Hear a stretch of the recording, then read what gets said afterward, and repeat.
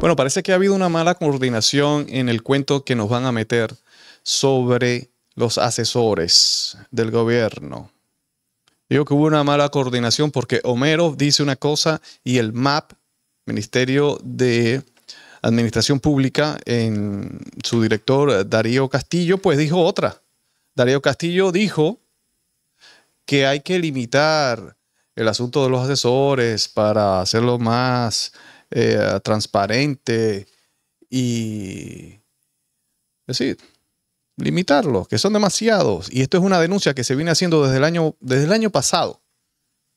Desde el año pasado, los periodistas de Toda la Verdad, del canal 32, han estado haciendo este, este reportaje donde nos dimos cuenta que nosotros los dominicanos estamos pagando más de 72 millones de pesos mensuales en más de 500 asesores que tiene este gobierno, asesores para todo. Con razón, la frase esa, no saben gobernar, pues tiene todo el sentido del mundo. No saben gobernar, entonces tienen que buscar asesores para todo. Lo cual es, vamos, que el cuento de los asesores nosotros lo conocemos muy bien. Sabemos que este, esto de asesores que eso, la mayoría de esos, de, esos asesores no saben absolutamente nada del tema en que se le está nombrando para que cobren ahí. Eso, son, eso es para ayudar a los compañeros. Entonces, Homero dice, cuando le preguntan, Homero Figueroa, vocero de la presidencia, dice, cuando le preguntan sobre los asesores, dice, no, eso es, eso es un, error del MAP, que lo tiene ahí como asesores, pero ellos no son asesores, esos son directores directores que, hacen su trabajo todos los días normal. Pero están en el MAP como asesores. Yo les voy a decir algo. Si, están, si son directores, ¿verdad? No tienen los mismos eh, beneficios. Perdón, los asesores no tienen los mismos beneficios que, un director o que un empleado fijo de, de nómina, ¿no? No lo tiene. Para asunto de censantía y todo eso, hay una serie de cosas que, son que, se le limita cuando tienen por nómina el título de asesor. Entonces, ¿cómo es que tú tienes esa cantidad de directores trabajando bajo la nominación de asesores cuando eso le va a afectar a ellos a la hora de, de vacaciones, todo, compensaciones, todo, le va a afectar? a menos que no, estamos, no estemos ante otra mentira más.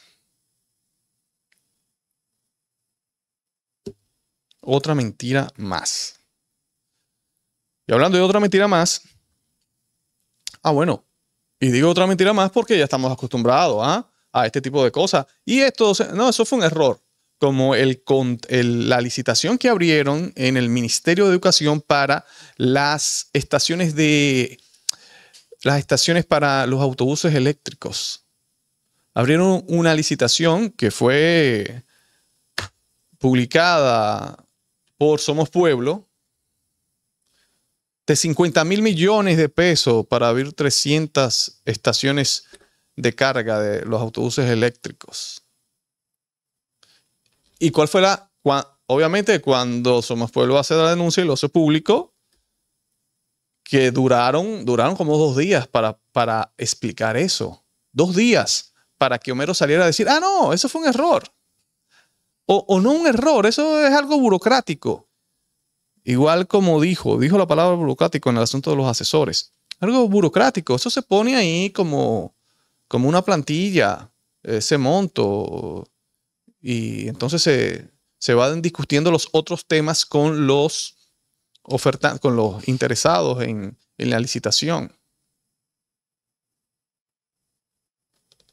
Pero cuando vemos el pliego y cuando vemos a los interesados en la licitación hacer todo tipo de preguntas, en la sesión de preguntas y respuestas, nadie de esos que estaban eh, haciendo las preguntas cuestionan el monto de 50 mil millones de pesos. No lo cuestionan. Y es lo primero que deberían cuestionar. Si a ti te interesa una licitación, lo primero que tú ves es el presupuesto de eso. Y cualquiera que hubiese visto ese presupuesto, lo primero que hubiese preguntado, ahí hay un error, ese es el monto. Porque estamos hablando, señores, de una cantidad de 50 mil millones de pesos, que eso fue el hoyo de Baninter. Para que tengan una idea. Que todavía estamos pagando eso. Coño, y fue. No, eso es un asunto burocrático, eso estaba ahí. Ustedes creyeron que eso era el monto, pero eso no es el monto. Y cuando todos los, los elementos sumados, pues hacía, hacía eso, 50 mil.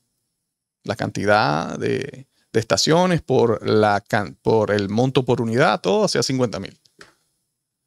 Vamos, por favor, más respeto. ¿ah? Más respeto.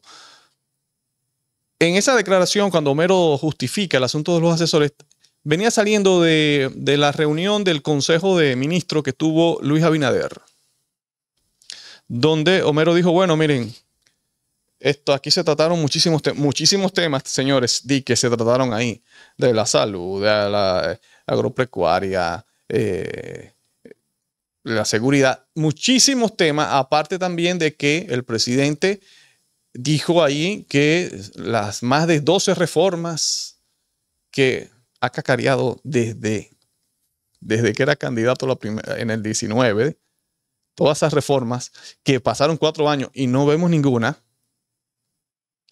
él era en esa reunión, que eran, más de 12, dijo, sí, en este año tenemos que hacer eso. Y lo vamos a hacer, incluido la reforma policial. Increíble, señores, que este señor tenga todavía la cara dura de, la cara dura de, mencionar reforma policial. Cuando mira el, lío que, tiene armado con el asunto del asalto al Banco Popular, donde la policía está armando un muñeco, hay un Frankenstein a todas luces mal armado. ¿Qué reforma? ¿Qué resultados? Esos son los resultados de Pepe Vila que nos costó 4 millones de pesos mensuales. Ahí, ¿qué resultado? ¿Mm? Ahora, ahora la criminalidad eh, ha evolucionado al punto de ya atracan, bancos aquí ya. Pasaron de los colmados a atracar bancos. Ese es el resultado de la reforma policial. Y este señor, con la cara dura, debe decir, no, ahora sí va, ahora sí vamos a hacer toda la reforma. Pero lo más increíble de esto es que todos esos temas se tocaron en menos de dos horas. Vamos a ver, hagan una reunión de todos los ministros, que estaban todos los ministros allí con, muchas personas eh, del partido también, la sala grandísima llena de personas, donde se supone que si tocaron todos esos temas que él dice, cada incumbente responsable de esos temas tiene que dar una, exposición y se tiene que hacer una, serie de preguntas y respuestas. Señores, eso en, en, menos de dos horas, eso no da tiempo. Eso no da tiempo. Ahí la información que tenemos es que el motivo de esa reunión, el principal motivo de esa reunión, fueron dos cosas. La, y fueron dos reformas, sí.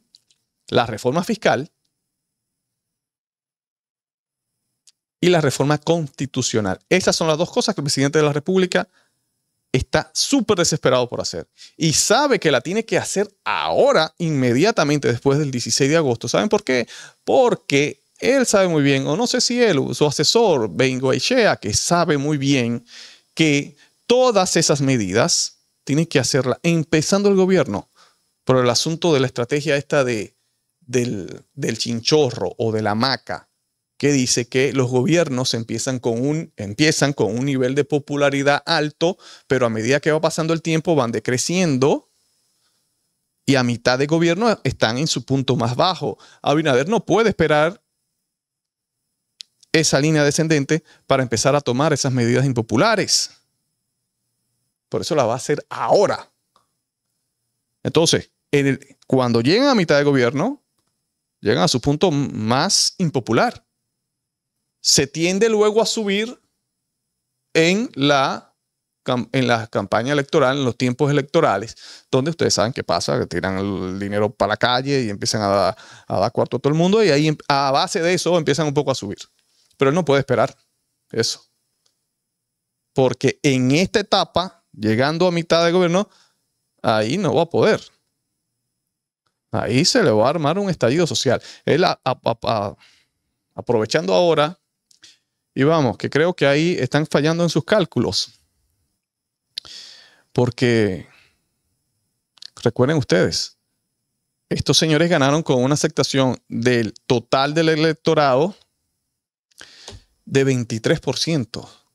23% votaron por Luis Abinader del total del electorado. Recuerden que hubo 46% de personas que no fueron a votar, que Lionel Fernández tiene un 29% y que entre Abel, el PLD y los partidos minoritarios, pues completan el 77%.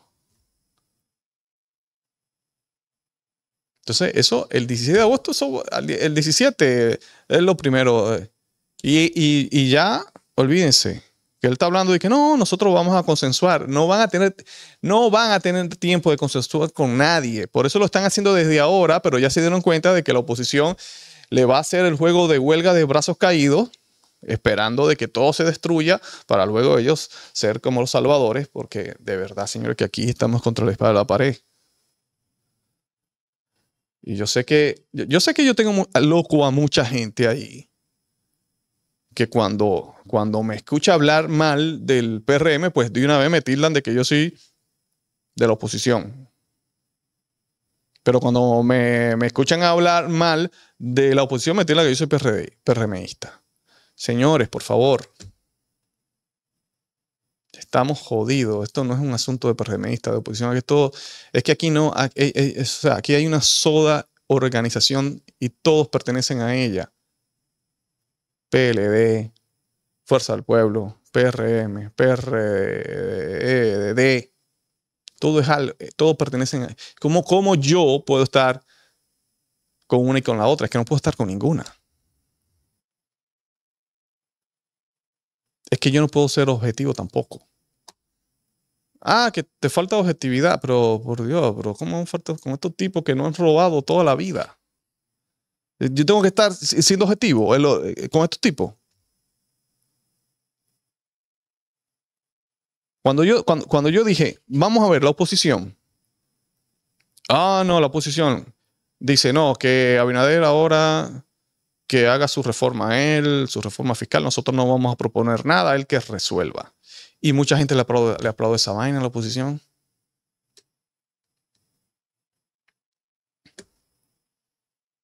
Yo digo, la, la oposición, si realmente le interesa el bienestar del dominicano, es el mejor momento para hacer sus aportes.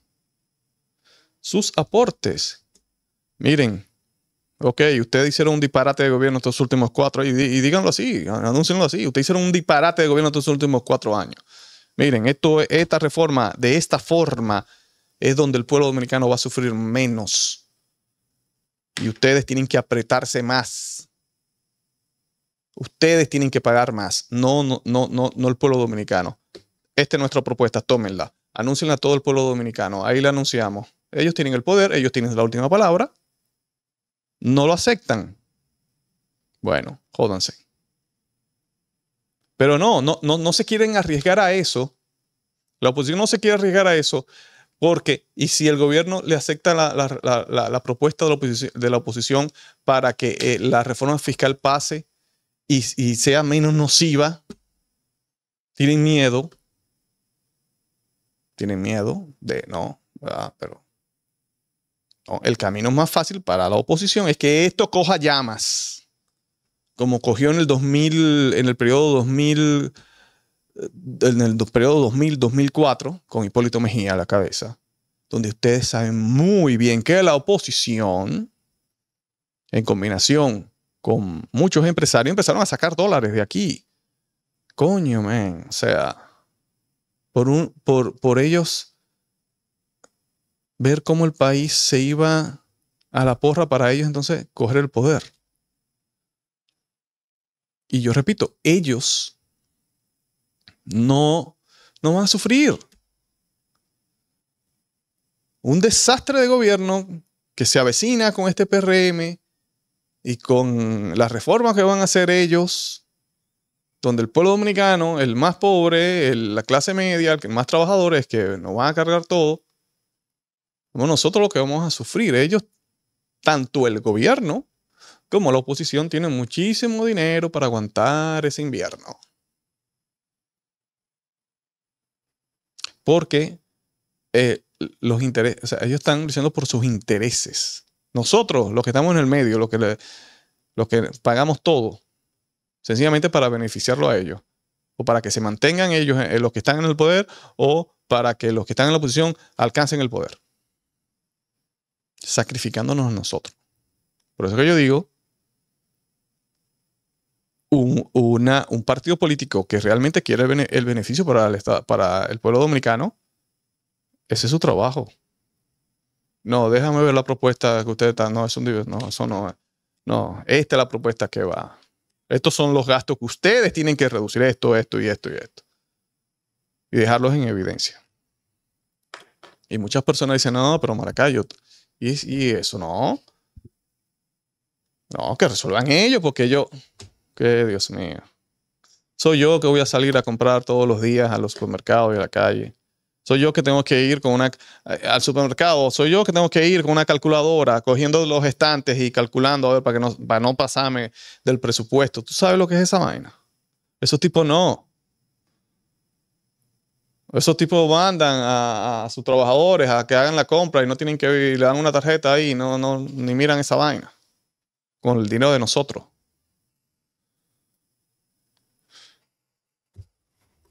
Bueno. Esto es Foco Público. Yo soy José Maracayo. Suscríbete, comenta y comparte. Resorte Media es también productora audiovisual y aquí tenemos espacios eh, rentables para producir contenido. Pero también si tu empresa tiene una actividad fuera y va a hacer una transmisión en tiempo real, puedes contar con Resorte Media.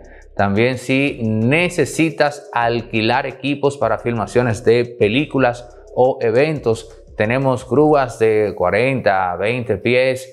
En fin, otra cosa, artista independiente que tiene que hacer un videoclip en calidad 8K, 6K eh, con imágenes eh, de stock. Bueno, pues lo podemos hacer acá en circuito cerrado con los presupuestos más competitivos. Pero si también eh, requieres asesoría para la producción de contenidos en plataformas como YouTube, también puedes contar con nosotros. Resorte Media, todo lo que necesitas en todos los ámbitos cuando se trata de producción audiovisual. 829-741-361.